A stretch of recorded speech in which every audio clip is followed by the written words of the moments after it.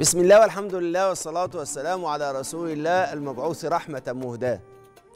يا سادة إحنا يوم الحد بنتفقد بيوتنا عشان نشوف إيه أخبار التوافق والسعادة. قاصدين إن إحنا نتعامل مع كل التحديات اللي موجودة في البيوت نتعامل معاها وما نغمضش عينيها ولكن نتعامل معاها بكل وضوح. حتى لو كان الكلام ده في بعض الأحايين ممكن يكون مش على مزاج بعض الناس لكن هو لازم نتكلم عليه عشان نقدر نحله عشان بيوتنا نقدر نوصل بيها إلى التوافق ومنها إلى الرضا إلى السعادة. لأن في بعض الظواهر اللي بتظهر في مجتمعاتنا بعض الناس بي- بيتغافلوا عنها ويبقى مسكوت عنها بس هي ما بيبقاش مسكوت عنها لأن هي طول الوقت بتوجعنا وطول الوقت بتألمنا في الفترة الأخيرة لاحظنا مجموعة من الظواهر السلبية اللي انتشرت انتشار النار في الهشيم. اللي ممكن تؤدي إلى عدم استقرار الأسرة وزيادة حالات انخفاض التوافق الزواجي ومن ثم ارتفاع نسب الطلاق. النهاردة هنتكلم بقى عن ظاهرة خطيرة وهي ظاهرة محتاجين نركز شوية فيها وهي ظاهرة اختلال الأدوار ما بين الرجل والمرأة أو اختلال الأدوار ما بين الزوج والزوجة. بشكل عام في اختلال ما بين آه، الأدوار ما بين الرجل والمرأة. وبشكل خاص في اختلال ما بين الأدوار ما بين الزوج والزوجة. وعشان كده بقينا نشوف أسر كتيرة بتتولى الزوجة فيها المس... المسؤولية عن البيت. أيوه أنا سامع دلوقتي الستات وهي بيقولوا أيوه والله يا مولانا. في مع غياب الزوج أو تهربه من أداء دوره. آه آه آه في ناس بتتهرب من أداء دورها. فبتقوم بتربية الأولاد وإدارة شؤون البيت وممكن يصل الأمر إن هي كمان تتولى الإنفاق على البيت بما فيه كمان مصاريف آه، الزوج نفسه. نعرف أزواج كتيرة لامين جدتهم على زوجاتهم وعشان كده ظهر في بيان الجهاز المركزي للتعبئة العامة والإحصاء الصادر في اليوم العالمي للأسرة في 2020 وجدنا إن ما بين 24 وسبعة من عشرة مليون أسرة في مصر عندنا 3 و3 مليون أسرة مصرية تعول على امرأة يعني 13% تقريبا 13% ونص من الأسر المصرية تعول على تعول على الأم. ومن بين 100 أم في 13 أم بتعول أسرة بأكملها.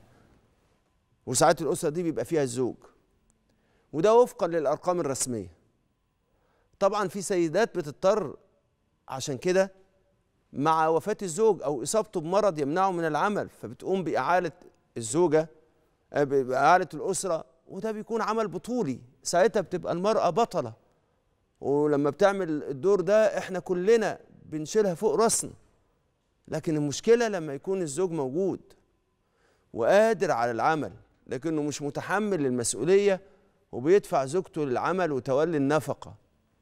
وإلا الأولاد مش هياكلوا ولا هيتعالجوا ولا هيتعلموا ولا هيعيشوا حياة زي بقية البني آدمين. أقصد زي البني آدمين. فبتضطر هي اللي تعول الأسرة عشان خاطر أولادها. أنا عارف إن أنا وبتكلم أنتوا بتفتكروا أسر كتيرة وأنا عارف إن أنا وبتكلم في ناس بتتوجع. لأن تقاعس الزوج عن دوره وتخليه عن دور القوامة اللي معناه الرعاية والقيام بشؤون الأسرة. زي ما ربنا سبحانه وتعالى قال الرجال قوامون على النساء بما فضل الله بعضهم على بعض وبما أنفقوا من أموالهم. ومع نزول المرأة للعمل بقى واللي بتكتسب منه بتتكسب منه عشان تسعى لأولادها وبيتها وبتجد نفسها اتسمت ببعض السمات بعض سمات الر- الرجالة. فتلاقي زوجها على طول بيعترض عليها على كده وبيقول لها هو أنا متجوز واحد صاحبي. فالوضع ده نتيجة لتحملها مسؤوليات الرجالة. فمن الصعب الحفاظ على أنوثتها بلا تغيير وبلا تأثر. لازم في بعض الأحايين تخشن صوتها وتتخنه. ولازم بعض الأحايين تخبط على الترابيزة. ولازم في بعض الأحايين تعمل كده. ولازم بعض الأحايين تبرق ولازم بعض الأحايين يبقى هندامها هندام أشبه بهندام الرجالة. ومع إن حضرة النبي صلى الله عليه وسلم قال رفقا بقوارير. والتعبير عن ده في حضر في عصر حضرة النبي بيدل على رقة المرأة وبيعبر عن سماتها المختلفة عن سمات الرجل تماما. المرأة ليها سمات والرجالة ليها سمات. فالرجل موصوف بأنه عنده جلد وعنده شدة وعنده في بعض الأحيان خشونة.